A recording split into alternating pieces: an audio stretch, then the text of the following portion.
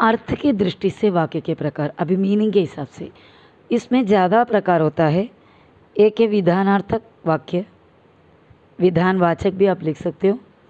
ये हो गया सादा स्टेटमेंट विधान वाक्य, विधानार्थक वाक्य मतलब सादा statement normal statement declaration declarative sentence जैसे मैंने पढ़ाई की, वर्षा हो रही है, वगैरह।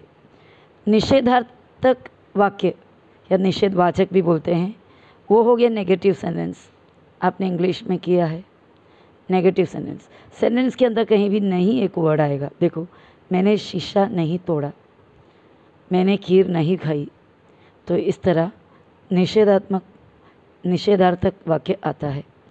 प्रश्नार्थक में आया क्वेश्चन क्वेश्चन पूछा जाएगा तो कौन सा किस्म के सेंटेंस हो गया? प्रश्नार्थक। आज्ञार्थक मीन्स ऑर्डर हुआ रिक्वेस्ट भी हुआ तो ये दोनों भी आज्ञार्थक में आ जाता है।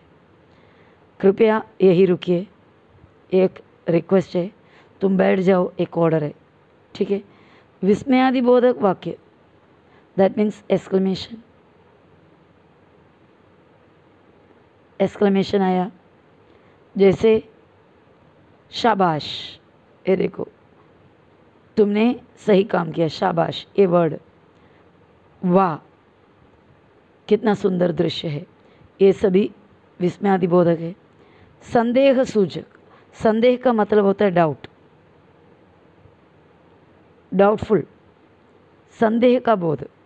क्या आप ये कार्य कर पाएँगे? तो यहाँ पर डाउट है, कर पाएँगे कि नहीं। आज दादाजी टहलने जाएँगे।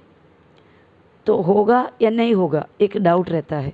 तो वैसा वाला सेंटेंस को संदेह सूचक सेंटेंस कहते हैं। और है इच्छावाचक। इच्छावाचक वाक्य मतलब जो हम कुछ इच्छा करते हो, कुछ चाहते हो, जैसे कुछ अच्छा हो, इस तरह हम कुछ कुछ विश करते हो, उसको कहते हैं इच्छावाचक। देखो, आज फिर कोई दुर्घटना होगी तो ये इच्छावाचक नहीं है। हम इसके लिए अच्छा सोचेंगे तो कैसे सोचेंगे, आज फिर कोई दुर्घटना ना हो। आज फिर कोई दुर्घटना ना हो। अब यहाँ पर आप एग्ज़ाम्पल देखो। तुम अपना ख्याल रखो। ये ऑर्डर है। बराबर? तो ये हुआ आज्ञावाचक वाक्य। क्या मास्टर जी ने पुस्तकें लाने के लिए पैसे दिए? तो ये क्वेश्चन है। प्रश्नवाचक। वाक्य। क्या मेरी टांग टूटना एक दुर्घटना थी? ये आज्ञावाक्य सॉरी प्रश्नवाचक भी है, साथ में एक संदेह भी है डाउट भी है। सॉरी आज फिर कोई दुर्घटना ना हो, ये इच्छावाचक हुआ। वाह, पर्यटन का अपना ही आनंद है। ये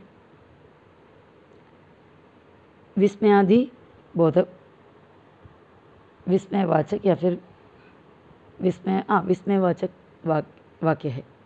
और आगे आपको और एग्ज़ाम्पल आशावाद हो तो कोई काम असंभव नहीं है। यह है निषेध वाचक उमा ने सितार पर भजन नहीं गाया। निषेधवाचक। क्या गोपाल पसंद, गोपाल प्रसाद शंकर, क्या गोपाल प्रसाद शंकर का विवाह उमा से करेंगे? ये डाउटफुल है। बराबर? संदेह वाचक हो सकता है। क्या मानो इतना ही बोल सकी? ये भी प्रश्नवाचक में भी आएगा, संदेहवाचक में भी। संत पुरुष दुष्टों के वचन नहीं सहते। ये हुआ यस निषेध वाचक वाक्य। तुम अपना ख्याल रखो। ये आज्ञा वाचक हुआ। और शायद गरीब भूखी लाचारी से श्रम करता है। ये भी संदेहवाचक है। यहाँ पर भी शायद बोल के डाउट किया है। अब राजप्रथा मिटा दो। ये आज्ञावाचक हो गया। मेरे घर पर छापा पड़ा। ये विधान वाचक हो गया या विना विधानार्थक हो गया, सादा स्टेटमेंट है। क्या तुम हमारी बात समझे? ये प्रश्न वाचक है। अर्थ तो शायद शायद यानी डाउटफुल संदेहवाचक है। क्या उस गली में पेड़ भी नहीं है? ये नहीं के हिसाब से देखा जाएगा तो? निषेधवाचक है, पर ये सिंबल के हिसाब से ये विस्मयवाचक भी है।